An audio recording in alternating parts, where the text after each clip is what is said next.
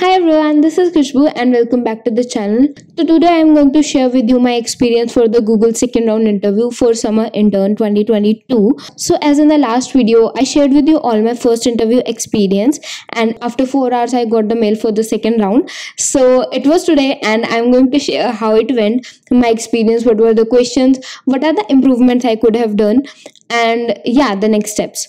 So let's discuss about how it went. First of all it was scheduled for 23rd august and we both joined the call like me and my interviewer. It started with an introduction. He gave his intro and then i gave my intro. But then his laptop started hanging and he got some issues. So we had to cancel that interview that time and it got rescheduled for the next day. So it was on 24th 12 pm so yeah we got on a call. Uh, uh, we again started with an introduction but this time it was brief because uh, introduction was uh, happened earlier also. So yeah we straight jumped into the coding question. Coding question was pretty tough question for me not gonna lie. Never heard of that before. And literally it took me like near 7 to 10 minutes to understand the question properly. I asked a lot and lot of like uh, extra questions like is the buildings input? What is the units of the angle? How we are getting the input? In the starting the question was pretty vague to me but uh, after uh, 5 to 10 minutes it started making sense to me.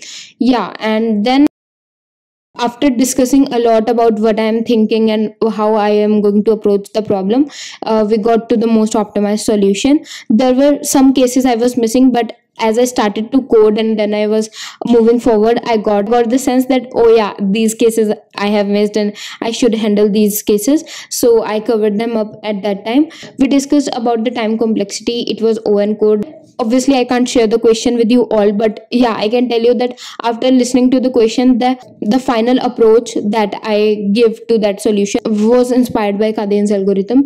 And then we discussed a lot about different test cases and how we can handle them and what are the time complexities and stuff. And yeah then it ended with the statement that do you have any question for me? I asked one or two question to him. So uh, what are the major improvements that i could have done? My interviewer he was very well versed with python but I wrote very basic Python code. I didn't write a very pretty, uh, very much Pythonic code like using default dictionaries and hash maps and stuff. But um, I could have done that because uh, he understands each and everything very properly. So uh, it would have been a better thing to do. And apart from that, uh, I was uh, while I was not able to like while i was able to understand the question i was at certain point of times i will i was not able to um, like think about the if statement like what what should be the proper syntax to write that out. And at that time i was getting a little stressed. So i have to work a little on my stress management.